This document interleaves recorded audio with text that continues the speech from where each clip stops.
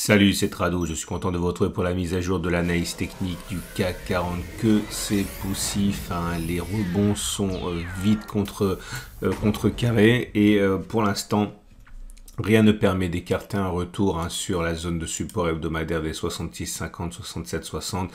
Mon objectif est toujours d'aller chercher le point 4 ici, puisque c'est l'objectif de la vague de Wolf maintes fois, maintes fois évoqué. 1, 3, 5, 1, 4, comme ça, voilà. Bon, je vais pas revenir là-dessus parce que ça a été également maintes fois évoqué, mais euh, cette vague de Wolf nous donne un premier objectif sur le point 4 ici. Et euh, l'attaque baissière à laquelle on assiste actuellement permet de réactiver ce, scénario qui avait été un petit peu éludé hein, depuis le rebond certes violent. On a toujours le, la figure en, en, ABC. Ça, porte plusieurs noms. Hein. Si on n'est pas trop regardant et orthodoxe, il peut s'agir d'une figure euh, en ABC comme ça.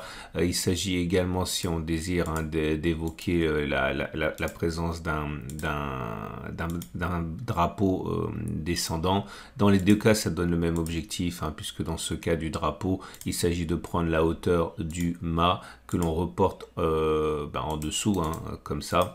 Alors il faut savoir que les drapeaux baissiers fonctionnent moins bien que les drapeaux haussiers, mais tous les chemins mènent à Rome, à savoir ce support ici des 79, 110, 55, ça reste quand même quelque chose d'extrêmement euh, plausible. Euh, le chandelier japonais du jour est euh, mauvais. Ok, 1 il est rouge, donc on termine plus bas que l'on a ouvert, c'est-à-dire que la pression est baissière.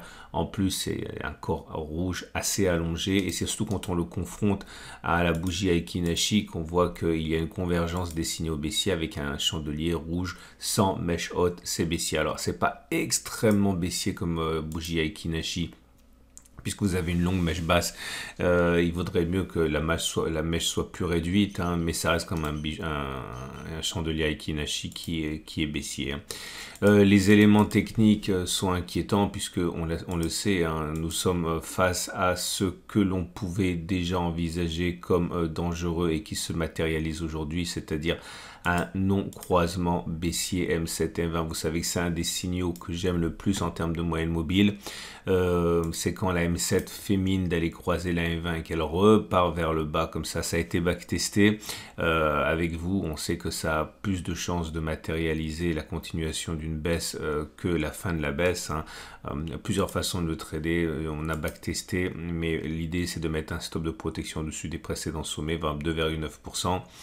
Euh, vous au moins 2,9%. Si on va chercher le, support journalier, ça va, vous avez un ratio gain-risque qui est très acceptable. Maintenant, si on pouvait avoir un petit rebond pour encore améliorer ça, pourquoi pas dans une optique hein, de réduire le, le, stop de, la distance au stop de protection. On a également la moelle mobile à 50 jours qui délivre son message de neutralité puisque la M50 est plate. Je vous rappelle quelque chose, hein, puisque euh, on, avait backtesté ça on avait vu euh, ensemble que lorsque le, la M7 croise la M50, comme ça s'est produit ici sur cette bougie, il était plus plausible, plus plausible que l'on aille chercher euh, la distance euh, suivante, c'est-à-dire voilà, le croisement était, a eu lieu ici, il était plus possible de faire un retour vers les plus hauts à 5,80 que d'aller faire la même distance vers le bas à 5,80 ici. Ça a été backtesté. Donc ça veut dire qu'en gros, ce qui se passe actuellement donne euh, de la matière pour un trade aussi. On y reviendra plus tard. Euh, les autres éléments techniques, on sait, on a vu que le euh, MACD délivrait son signal baissier. C'était déjà vendredi, hein, avec un non-croisement MACD signal. Ça anticipe en fait hein, très souvent ce qui va se passer sur MOL mobile. Hein. Donc ça, c'est en cours. Et attention, le stochastique vient de croiser son signal. Ça aussi, tout ça, ça a été backtesté. Bref, vous l'avez compris. Euh, les, chances d'aller plus bas sont assez importantes. À noter également, ça je ne l'ai pas dit, mais euh, je l'ai évoqué, euh, on, a, on, le verra mieux sur la sur le graphe horaire, mais on, a cassé là hein, l'oblique descendante. Donc, alors c'est pas parce qu'on casse une oblique descendante que ça baisse, mais il faut savoir que l'analyse technique fonctionne de mieux en mieux, notamment à cause des prophéties autoréalisées. Vous pouvez être sûr que tous les chartistes euh, ont vu ça, donc forcément ils vont s'engouffrer euh, dans, la brèche euh, en visant une continuation de la baisse. Et là aussi, hein, généralement, soit on met un stop de protection en cas de retour au-dessus de l'oblique, soit au-dessus des précédents sommets. Hein.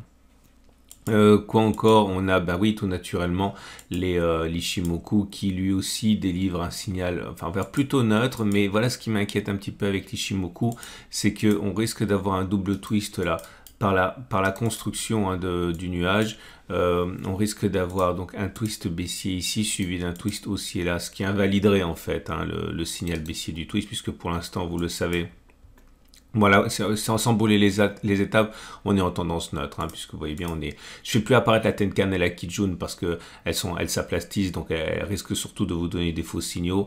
Mais le nuage est important à suivre quand même, et le fait qu'il soit plat comme ça montre que la tendance de fond elle est neutre.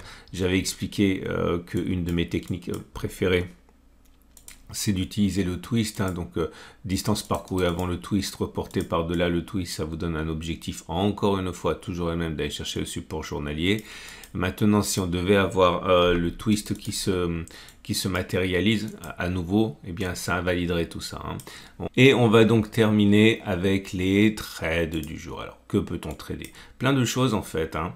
Euh, première des choses, euh, bah, la hausse tout naturellement. Et là, j'avais déjà expliqué ça préalablement. Hein. C'est-à-dire qu'on a eu un croisement M7, M50 et on sait qu'on a plus de chances de baisser que de monter, mais la distance euh, à, parcourir est relativement limitée dans le cadre euh, d'un croisement M7, M50. J'en ai déjà parlé, donc je répète, l'idée c'est que euh, puisqu'on a eu un, ce croisement M7, M50, l'idée c'est qu'on a plus de chances d'aller sur les plus hauts 5,74 que de faire 5,74 vers le bas. Donc, et là, on rentre à un meilleur prix encore. Hein. Donc, pour envisager d'améliorer votre ratio gain-risque en rentrant deux fois, par exemple, dans la, plus pure tradition de ce que je fais quand je fais du trading euh, euh, discrétionnaire, donc euh, par exemple une demi-position maintenant et une demi-position plus tard.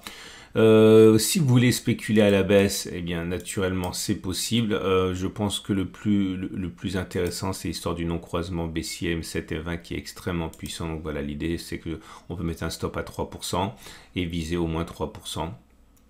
C'est jouable aussi hein, en particulier. Vous pouvez rentrer en plusieurs fois, on peut très bien euh, euh, mettre les choses euh, bout à bout et tout ce que je vous apprends, et vous pouvez le, personnaliser et l'utiliser à votre guise. On peut rentrer en deux fois naturellement. Voilà, rapide détour du côté des données horaires. Pas grand chose pour les données horaires. je vous rappelle que on avait une, zone de résistance et de de support ici qui n'ont pas été touchés. Donc euh, pour moi, c'est toujours pareil. Zone d'achat pour moi dans cette zone des 70, 74, 67, 88. je mettrai un stop de protection en dessous de cette zone. Et zone de résistance qui m'importe, elle est là, hein. elle est tout en haut, ça sera sûrement pas pour demain. Bon, après on peut trouver d'autres zones, mais là je vous montre celles qui sont les plus solides. Voilà ce que je pouvais dire pour euh, cette, euh, cette analyse du CAC 40. Vous retrouverez à la fin de cette vidéo l'analyse de long terme. Vous savez, c'est toujours pareil, il faut pas mettre la charrue avant les bœufs. Le plus facile, c'est l'accumulation rationnelle. Ensuite, c'est le trend following. Après, c'est le swing trading. Et après, après, c'est le trading discrétionnaire, etc. Si vous n'avez pas le temps, si vous n'avez euh, pas forcément l'expérience pour faire du, swing trading et du, de l'intraday actuellement, euh, commencez par l'accumulation rationnelle. Franchement, c'est ce, qui, euh, ce qui est de plus facile. Et en plus, je vous mâche le boulot avec mes vidéos qui vous indiquent les, indiquent les zones. Donc, pensez à ça. Mes vidéos sur l'investissement de long terme sont vraiment beaucoup moins vues que les autres, alors que c'est franchement ce qu'il y a de plus facile. Pareil, ne loupez pas la, la, vidéo qui suit sur le bilan du swing trading hein, qui, qui arrive toutes les semaines. Souhaite une excellente journée et je vous dis euh, à demain pour la mise à jour.